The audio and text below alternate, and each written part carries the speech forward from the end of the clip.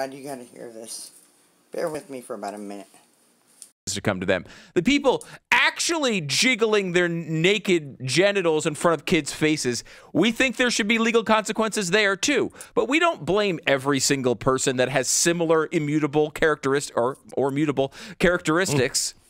Mm. That, because they share them with with criminals. You don't blame the group. That's the left's thing to do. And maybe that's why every media source seems to get on these bandwagons because that's the way they think. Well, they always finger themselves. They they That's they it. oh I'm sorry for that. They oh Oh my God.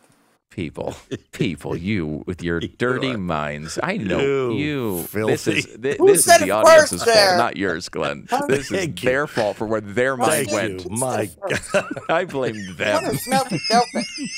Dirty mind. I am disappointed in every Dude. single person in this audience for what kids, they just right? thought. you, You're wow, can get to a That is home run, sick. honey, I'm, I'm starting to side third with the media Yeah. on you.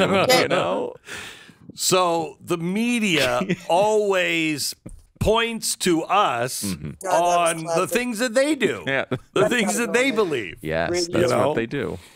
So I'm going to move off of that point and uh, let me get to uh, Fame. You might- okay. So the guy in Louisville